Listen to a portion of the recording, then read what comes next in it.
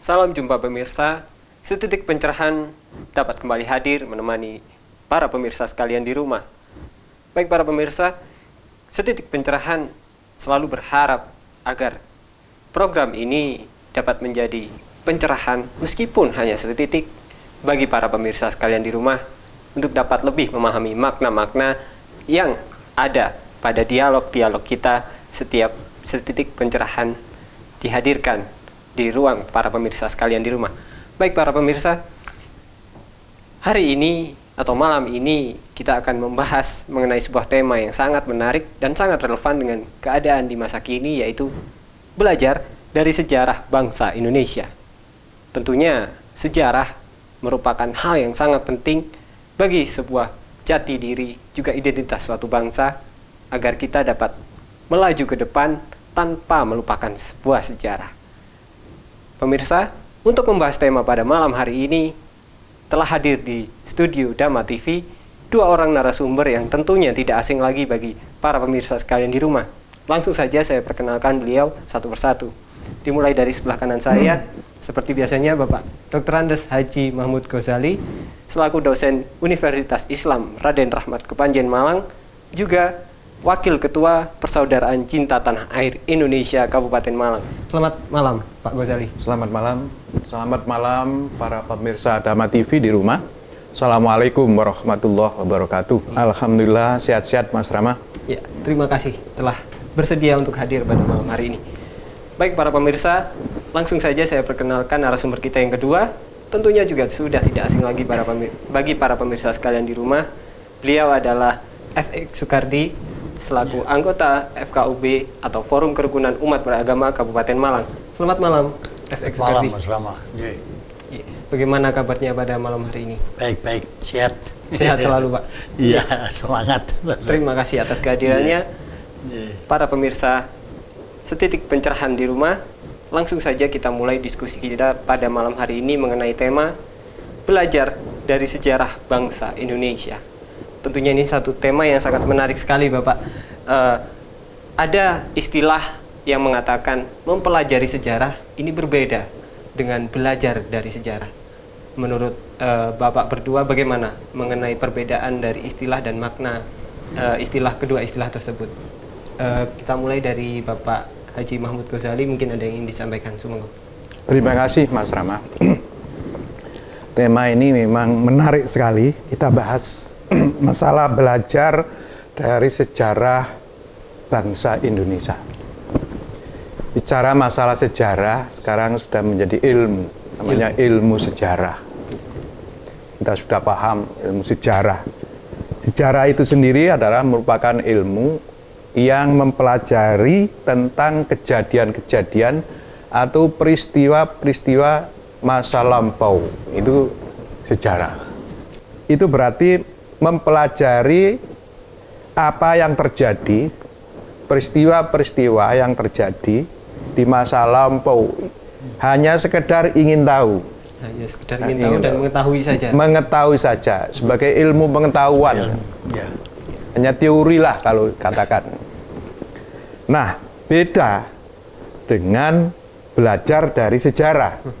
Kalau belajar dari sejarah itu berarti belajar dari apa-apa yang sudah terjadi, yaitu uh, semangat uh, pahlawan, semangat pahlawan putri misalnya Raden Ajeng Kartini yang memperjuangkan emansipasi kaum wanita.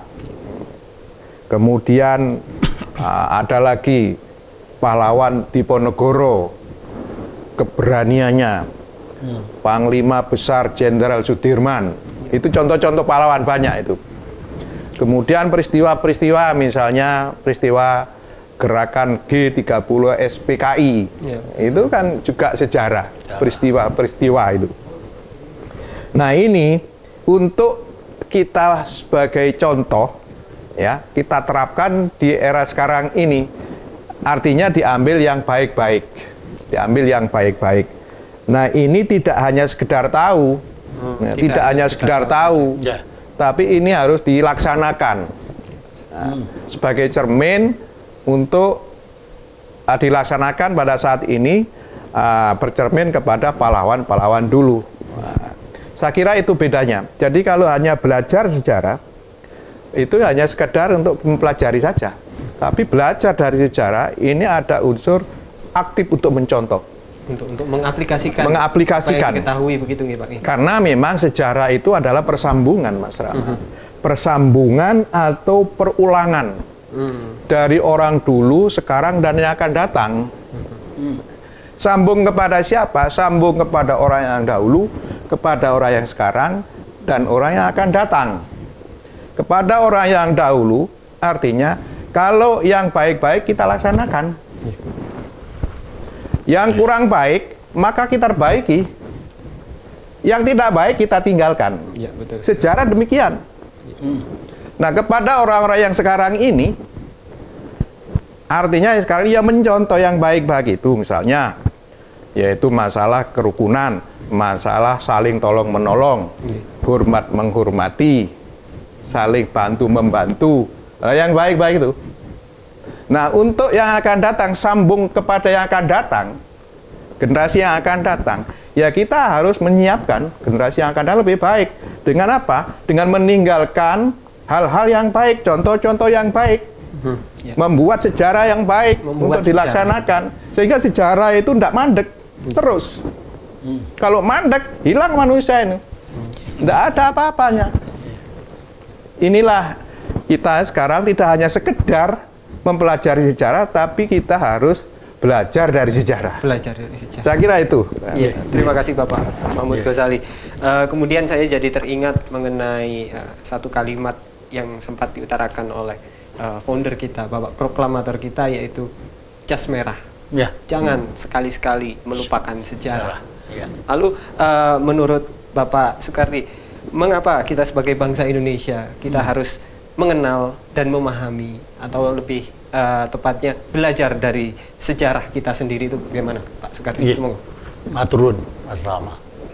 Eh, pengertian sejarah sendiri itu sendiri seperti bang tadi adalah catatan dari sejarah suatu umat manusia dan bangsa itu yang sudah tertulis itu sejarah sehingga kalau bangsa itu waktu itu belum mempunyai catatan yang tertulis maka zamannya buat zaman pra sejarah. Prasejarah. prasejarah karena belum mempunyai tinggalan-tinggalan yang tertulis. Hmm. baik itu di batu di kelontar di apa itu eh, peninggalan-peninggalan yang lalu itu. Eh, dari catatan-catatan tinggalan-tinggalan dari umat manusia. Jadi sejarah umat manusia ada sejarah bangsa ada sejarah kota Malang ada ada trap-trapannya umat manusia sendiri itu 5000 tahun sebelum Masehi itu bangsa Mesir sudah punya catatan sejarah. Bangsa Cina, bangsa India itu 5000 tahun sebelum Masehi. Sudah memiliki. Sudah memiliki sejarah, catatan-catatan yang ditinggal. Ya. Nah, kalau bangsa kita ya memang ceritanya dari yang kita kenal baru abad keempat itu baru tertib tinggalan sejarah Hmm. yang tertulis di eh, apa itu maklumat-maklumat di peninggalan gitu. itu. Eh, jadi sejarah itu kita pelajari karena apa? Dari belajar terjadinya bangsa dan itu banyak pengalaman-pengalaman yang nantinya tuh bisa kita pakai sebagai pedoman. Sing apik dadi suri teladan, lho sing ala ya aja diteruske. Jadi Borobudur itu sudah perpaduan antara kerukunan umat sejak zaman itu. Lho ngono-ngono kuwi sing kudu tetep dilanggengke. diuri-uri kata. Iya. Nah, setelah kepekatan eh, terus raja-raja Watu Malang, Galunggu, Daksa, Wawa, Empu Sendok sampai Empu Sendok Mataram itu gunung api meledos. Oh, Tengah tengah gunung api. Empu Sendok Bayi Panglima boyongan dari eh, Poh Pitu ke timur berdirilah kerajaan Sumedang.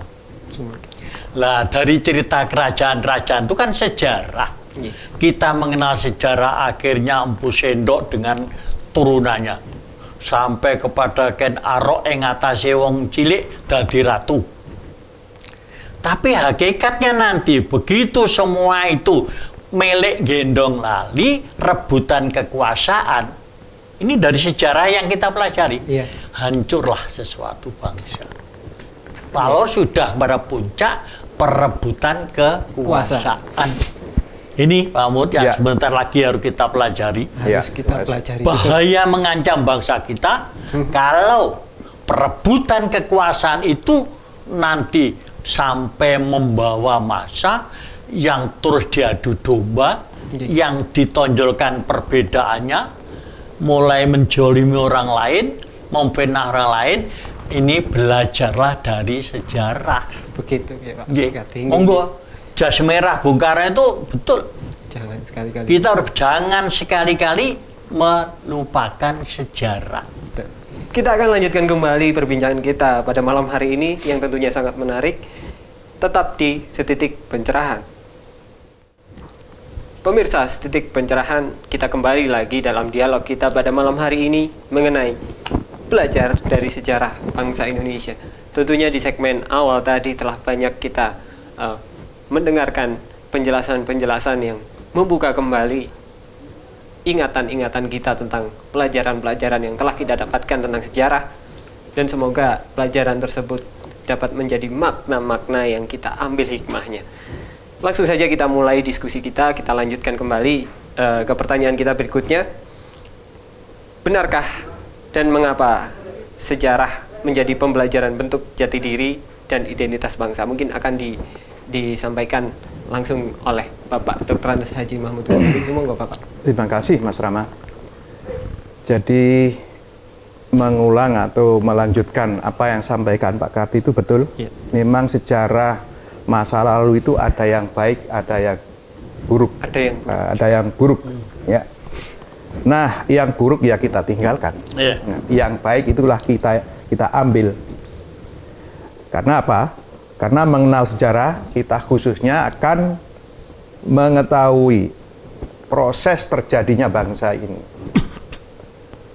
Dan para pahlawan-pahlawan dalam merebut kemerdekaan, memperjuangkan kemerdekaan, mempertahankan kemerdekaan, bahkan mengisi kemerdekaan ini yang sekarang ini. Ini ya perlu kita ambil kebaikannya, kebaikannya. Yang kurang baik ya kita tinggalkan. Sebab sejarah mencatat apa yang disampaikan oleh Pak Kardi. Bagaimana sih kerajaan Sriwijaya dulu, bagaimana kerajaan Mojopahit itu juga tenggelam. Sekarang ada negara Kesatuan Republik Indonesia, jangan sampai tenggelam lagi. Iya. gitu. Ini sejarah. Betul. Kemudian sejarah membentuk jati diri memang Iya. atau identitas bangsa. Bicara masalah identitas atau jati diri itu sebetulnya sama. Jati diri juga identitas. Jadi jati diri atau identitas merupakan bagian dari sifat seseorang yang muncul dengan sendirinya. Ini yang menimbulkan watak ya, kemudian sifat, karakter atau moral seseorang. Ini menjadi jati diri. Jadi jati diri atau watak bangsa Indonesia itu dibentuk sebetulnya melalui sejarah. Melalui sejarah. melalui sejarah. Sejarah siapa? Sejarah bangsa Indonesia. Bukan sejarah orang luar negeri, orang asing. Jadi sehingga watak jati diri bangsa Indonesia tidak sama dengan jati diri orang Belanda, orang Amerika. Punya jati diri sendiri. Nah, membentuk jati diri bangsa ini ini ya melalui apa? Nah, ini yang penting. Ya melalui sejarah. Kita mengetahui sejarahnya Sriwijaya pada abad ke-78. Negaranya namanya negara Suwarnadipa. Suwarna Bentuknya Dwipa. adalah eh, kedaton. Hmm. Bagaimana ah, kekuasaan zamannya kerajaan Sriwijaya luar biasa. Kemudian pada abad 12-13 muncul lagi yaitu kerajaan kuat yaitu Mojopahit. Itu kerajaan Mojopahit dengan ah, patihnya pemuda waktu itu namanya adalah Gajah Mada. Sumpah waktu itu. sumpah namanya sumpah palapa. Ini khususnya kaum muda. Hanya satu orang pemuda sumpah bisa menyatukan wilayah Nusantara yang luasnya lebih luas dari sekarang ini. Nah, negaranya namanya negara Nusantara. Bentuknya adalah keprabon. Ya. Itu kerajaan Mojopahit. Nah, sekarang ke mana? Hanya dibaca saja, itu yang membaca itu, yang tahu. Padahal itu besar, lebih besar daripada sekarang. Itu. Ini sejarah. Ini yang membentuk jati diri bangsa Indonesia. Jati diri bangsa. Kemudian apa lagi? Yaitu ada sumpah lagi tahun 28. 28. Yaitu namanya Sumpah Pemuda. Tepatnya tanggal 28 Oktober uh, 1928. Sumpah Pemuda. Ini yang juga membentuk jati diri. Ciri khas bangsa ini pemudanya. Tampil lagi pemuda waktu itu. Sehingga dari Sumpah Pemuda itulah 17 tahun setelah itu kita merdeka. Menyatukan tekad satu tanah air tanah air Indonesia, satu bangsa bangsa Indonesia, satu bahasa bahasa Indonesia. Lagunya dinyanyikan lagu Indonesia Raya waktu itu yang pertama. Sehingga 17 tahun setelah itu kita merdeka. Itu juga jangan lupa itu. Itu juga penyatuan Nah, ini sering eh, pernah kita bahas itu. Iya. Sumpah Pemuda. Kemudian ingat setelah itu kita merdeka proklamasi 17 Agustus 45. Itu yang kita tunggu-tunggu. Sehingga setelah proklamasi tanggal 17 Agustus 45, besoknya ya besoknya tanggal 18 hari Sabtu itu berdirilah NKRI negara baru di Indonesia ini. Negara baru, Negara kesatuan. negara kesatuan Republik sampai sekarang ini. Ini jangan sampai hilang lagi, Iya. jangan sampai tenggelam lagi, gitu loh. Jangan sampai Sehingga kita itu mengingatkan kembali sejarah ini. Ini pentinglah belajar sejarah, belajar dari sejarah. Nggih. Tidak hanya sekedar dibaca saja. Kemudian jangan lupa juga lagu Indonesia Raya Ya. Yang menjadi lagu kebangsaan Indonesia ini, lagu Indonesia Raya. Kemudian ini pernah kita bahas juga. Dan kita jangan lupa yaitu dengan dasar negara kita Pancasila. Pancasila. Eh, Pancasila. Kemudian lambang negara Indonesia. Ke burung Garuda dan semboyan Bhinneka Tunggal Ika. Kemudian bendera merah putih. Berani karena suci, pernah kita bahas. Betul. Kemudian pembukaan Undang-Undang Dasar 45 itu penting. Pembukaan Undang-Undang 45 adalah menjelaskan daripada proklamasi. Dan ini tidak boleh dirubah. Ini kesepakatan dirubah ini membubarkan negara. Ini sejarah. Apa mau bubar lagi? Kalau mau bubar lagi pembukaan harus dirubah. Sebab di situ ada menyatakan kemerdekaan. Kemudian di situ ada tujuan negara dan di situ ada dasar negara. Pembukaan itu. Visi misi. Lainnya bolehlah di amandemen boleh sehari dua kali tiga kali dipamer tapi jangan sampai merubah pembukaan Undang-Undang 45 ini. Ini sejarah. Ya, betul. Saya kira itu sumber dari uh, jati diri bangsa kalau kita ini uh, mengenal sejarahnya kita, mengenal sejarah bangsa Indonesia. Ya dari situ. Ya. Saya kira itu Mas Rama. Baik. Oke. Terima kasih Bapak Haji Mahmud Ghazali. Mungkin ada yang ingin ditambahkan dari Bapak Soekardi. Eh, ya. Mari kita menengok kembali ke belakang. Seperti yang sama oleh Bung Karno tadi. Jangan lupa sekali-kali melupakan sejarah. Sejarah. Di dalam rangka pembentukan jati diri bangsa. Itu Bung Karno memang istilahnya itu jangan lupa usdek. Masih ingat tuh Pak? Usdek. Usdek. Bahwa negara kita itu dasarnya Undang-Undang Dasar 1945. S-nya itu sosialisme. Sosialis. Nah, waktu itulah yang terjadi perdebatan. Sosialisme itu ada sosialisme Eropa, sosialisme komunis, dan sosialisme Pancasila sebenarnya. Sesnya itu. Maka diingatkan juga demokrasi. Deknya demokrasi. Usdeknya demokrasi. Usdek. Lah demokrasinya itu ini yang kadang-kadang orang lupa sejarah ya neng kene iki. Demokrasi kita itu kan demokrasi waktu itu terpimpin. Lah terpimpinnya ini yang timbul tanda tanya. Siapa yang memimpin? Padahal demokrasi kita yang terpimpin itu yang benar adalah terpimpin oleh Pancasila. Hmm, iya. Bukan lalu perorangan. Iya toh Pak? Iya, betul. Sehingga waktu itu kan Bung Karno diberi gelar eh, juru apa itu penyambung, lidah Penyambung rakyat, lidah Penyambung lidah rakyat. rakyat, ya dari pemimpin besar revolusi Indonesia itu nama-nama besar mana. Tapi sebenarnya memimpin bukan perorangan mestinya.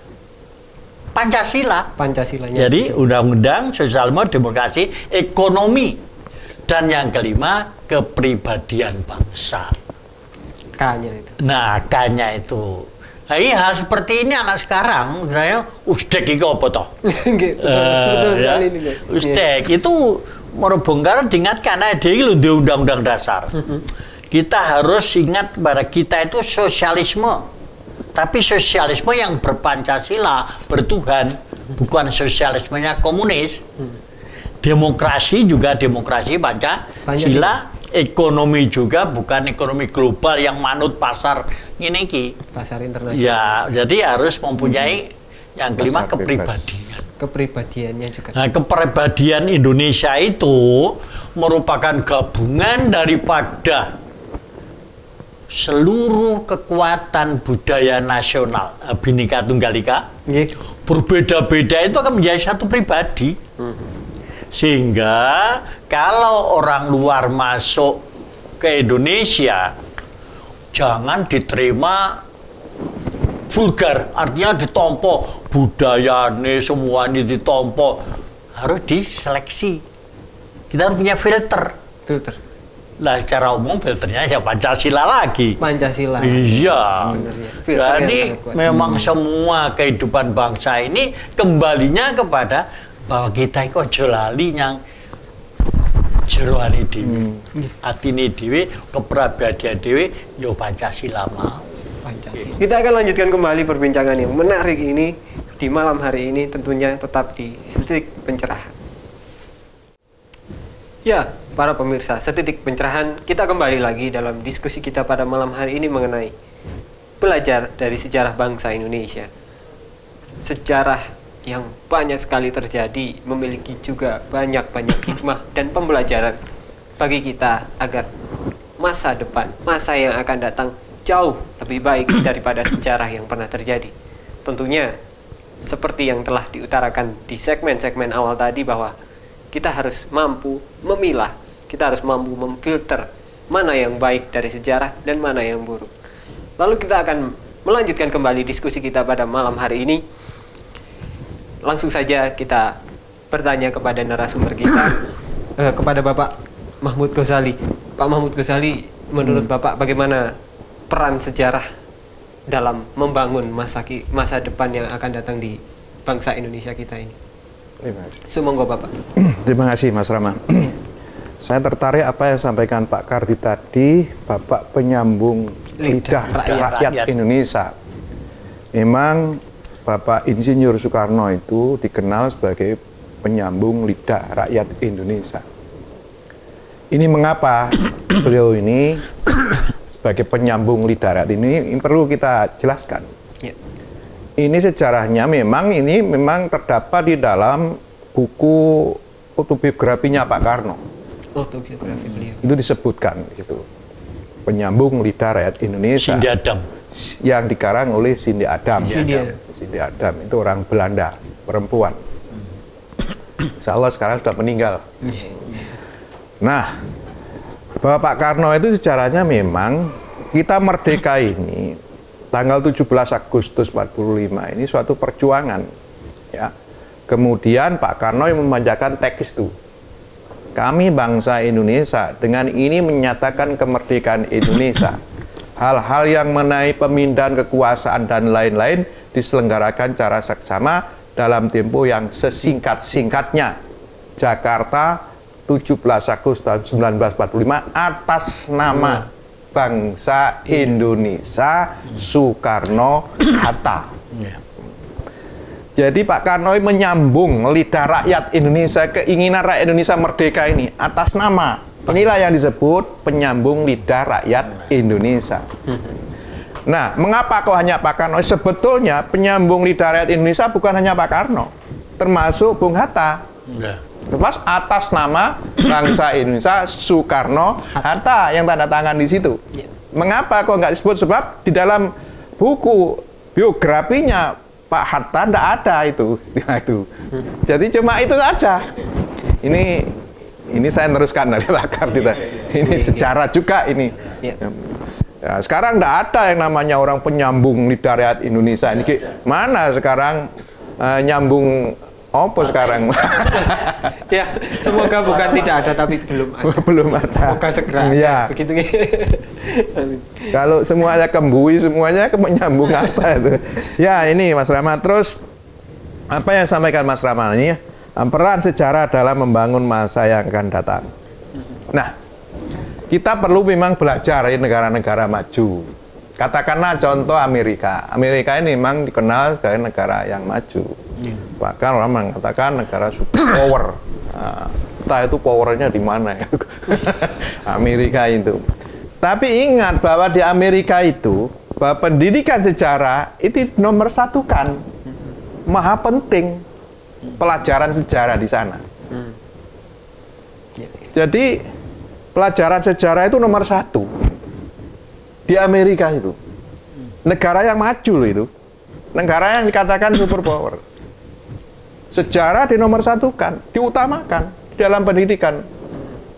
Jadi anak sekolah-sekolah itu sejarah diutamakan. Sebab apa? Sebab dengan mengenal sejarah, maka akan mengenal sejarahnya orang Amerika yang tidak enak-enak itu jangan sampai ter- terjadi kembali, terulang kembali. Gitu loh. Sehingga rasa cinta terhadap tanah airnya, negaranya kuat. Gitu loh. Bagaimana setelah itu kita membangun negaranya jangan sampai terjadi kembali sejarah-sejarah yang kelam. Karena tahu sejarah. Nah sekarang Indonesia, negara Indonesia ini entah niru siapa, ini negara mana? Belum niru ini. Di Indonesia ini pelajaran sejarah dianaktirikan ini. Coba, bukan suatu kebanggaan, Bukan suatu kebanggaan. ini. bukan suatu kebanggaan. Ya termasuk orang tua, guru, bahkan pemerintah mungkin. Coba aja. Pelajaran Sekarang ini yang diutamakan apa? Matematika, Ya. Ekonomi. kemudian ekonomi, kemudian IPA, kemudian bahasa Inggris. Iya. Sehingga kalau ada orang tua yang mengambil raport itu, itu yang pertama dilihat itu mesti matematika, bahasanya bahasa Bahasa Inggris, itu. Sejarah itu tidak terbaca. Sejarah tidak terbaca. Iya, iya. Itu kan kebalikannya, kebalikannya. Iya, betul sekali. Ah, kemudian yang salah siapa? Ya, saya semua salah ya. Iya.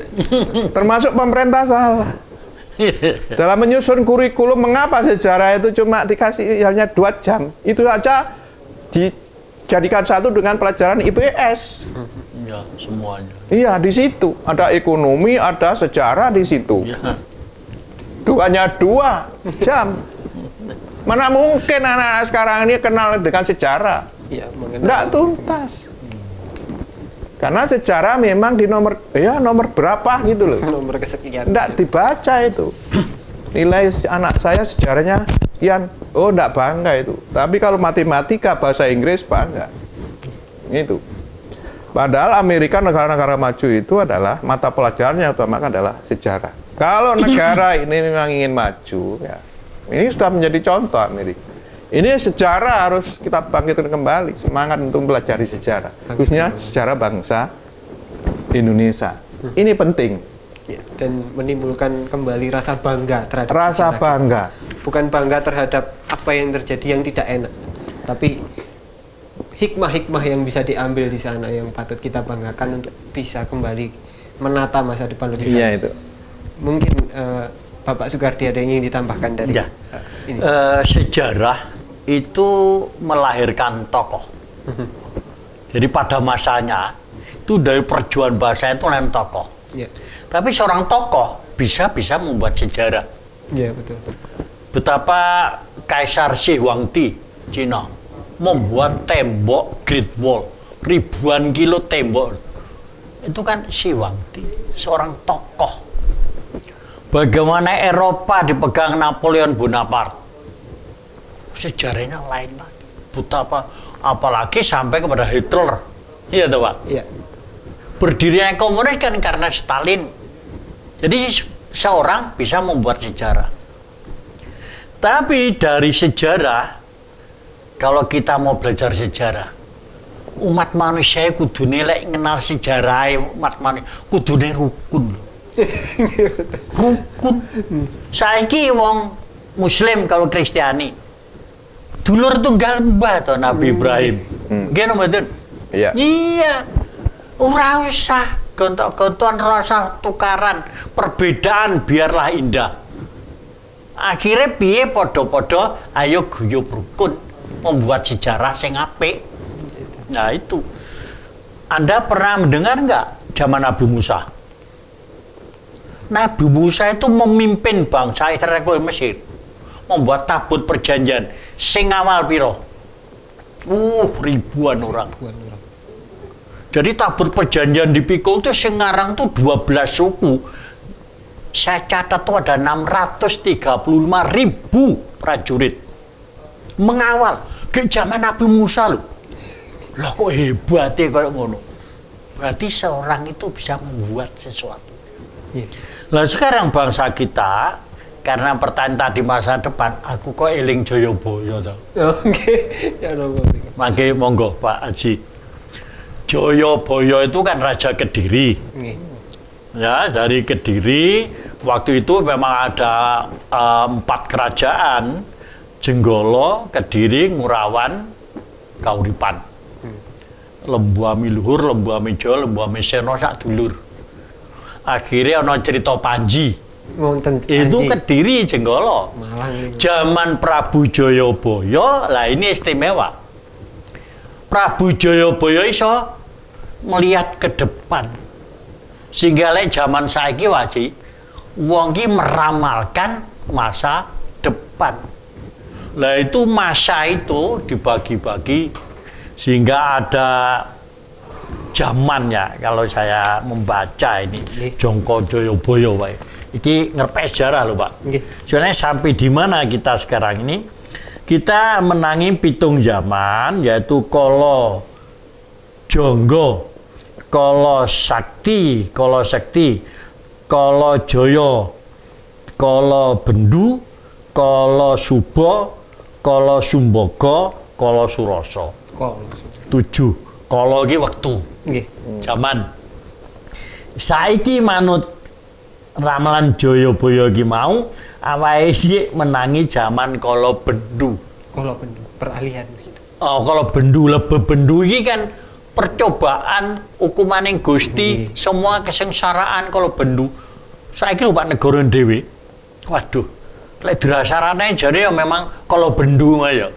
Bebendu entah itu bencana alam, Karena Nggih. entah itu pertengkaran antar politik dan sebagainya entar Antar lah. golongan dan sebagainya. iya itu juga sesuatu yang menjadikan iya zaman kalau bendu ini Ekonomi pun seperti uh urat marit arep import beras aja geger oh Indonesia kok impor beras. Wong jari ini negara agraris, gitu. Nah, tetapi masa-masa menurut Jongko Joyobo ini, kalau bendu ini sudah mendekati akhir. mendekati. Akan muncullah zaman setelah kalau bendu ini, kalau subuh. Subuh, sonan suko, jadi zaman seneng-seneng. Tiba emeh, Mbah.